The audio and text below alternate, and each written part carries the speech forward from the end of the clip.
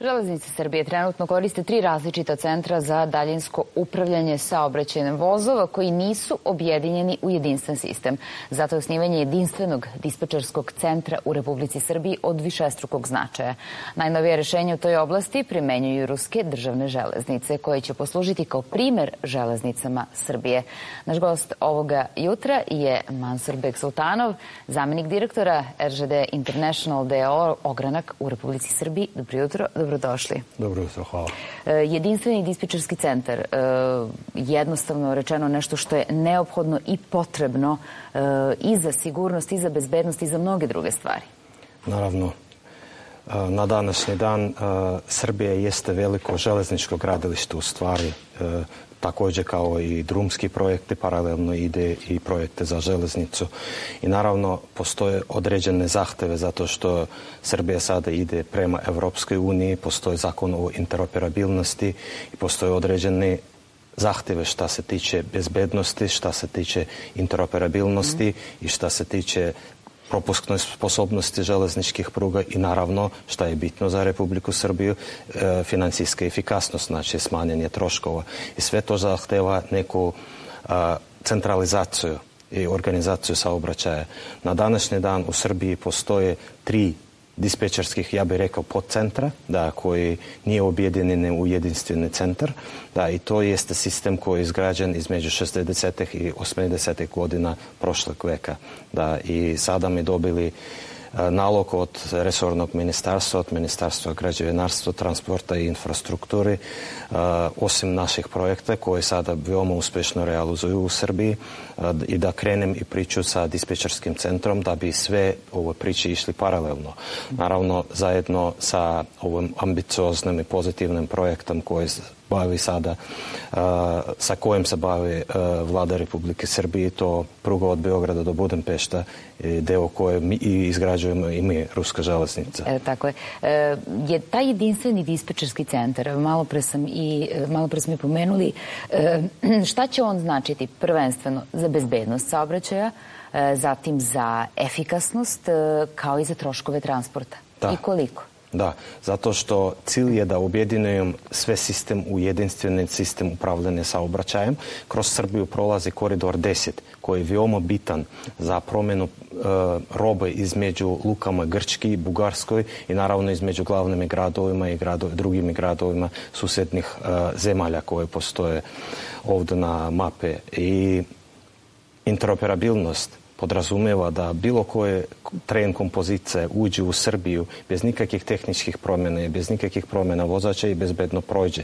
Da, i to je veoma bitno, zato što jedna, jedan od člana budžeta Republike Srbije je dobijenje novca zbog tranzita veoma dobro raspoložena Srbija i taj tranzit veoma bitan.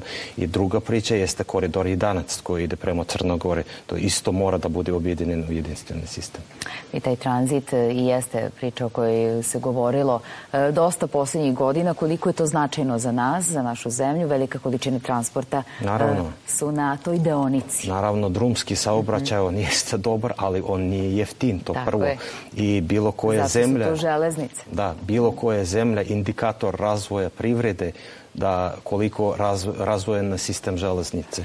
I sve velike preduzeće oni sve nalazi paralelno sa železničkim prugom. E, naša železnička infrastruktura trenutno, koliko je spremna za uvođenje ovog jedinstvenog dispečarskog centra? Znate, mi bavimo već, i nije samo mi, postoje niz kompanije koje bavi aktivno sa 2015. godine, ja bih rekao, i narednih dve godine ja veoma osjećam još i ubrzanje tog sveg tempa rada i ja bih rekao za narednih nekoliko godina će biti već ovoj glavne arteriji železnice Srbije spremni za, za, za takve zahteve i za takve standarde. Dobro, kakva je trenutna situacija, odnosno trenutna, trenutno kvalitet železničke infrastrukture u Srbiji?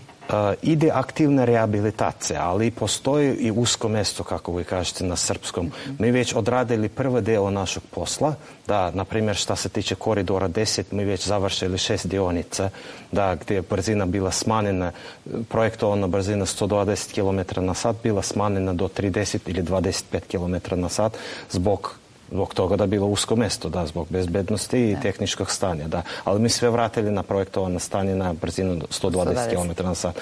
I sada radimo opet sa resornom ministarstvom kroz njegovu podršku da opet nađemo i identifikujemo ti mesta, projektujemo i idemo dalje. E, naravno, e, kada pričamo e, o raznoraznim rekonstrukcijama, nije samo reč o tome. Pitanju je takođe i isporuka dizel motornih vozova ruske proizvodnje. Da, da, tako, to, to jeste bilo, da... da, ne bi trebalo, to već završeno, da mi radimo da već ovaj, znam da postoje određene gledalci sa vaše strane, nije samo ti koji je zaduženi, ko prati i oni znaju da već završena isporuka 27 dizel motornih kompozice. Mm -hmm. Osim toga, završena preroka, imali smo rok dve godine, sve smo nabavili u roku jedna godina, ukupna vrednost ugovora bila 100 miliona dolara, da i sve 27 već sertifikovane i već u saobraćaju. E, vi ste radili takođe i na Žeželjevom mostu, tako, preko Dunava, da, koji je da. nedavno otvoren. Da, polaganje, železnički deo tog mhm. projekta odradili mi, da krenuli smo početkom ove godine i završili i pustili saobraćaj u proleću ove godine. E, dobro, e, RŽD International na teritoriji Srbije, e, kažu, bavi se određenim humanitarnim radom. Da, da. E, zato što parol našoj kompaniji građimo zajedno za budućnost ostavljamo prugu za budućnost, ali naravno i edukacije i obrazovanje, znači i školski, ovo preduzeće jeste veoma bitni i u okviru geografije naših projekta mi bavimo sada izgradnjem po čitavoj Srbiji.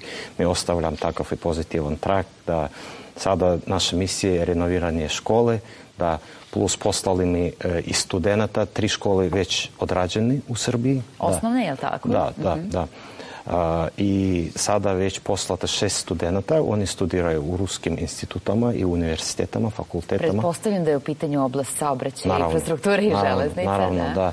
imamo, Vi ih stipendirate, li tako? Da, to stipendirano iz Ruskoj federacije i imamo sporazum sa vladom Republike Srbije i sa infrastrukturom železnice Srbije da kad vraćaju taj studente, oni već imaju pripremljeno mesto i da bi nastavili njihov... Posao kod da, vas ih očekuje. Da, da. Koliko sad trenutno zaposlenih zaposlenih?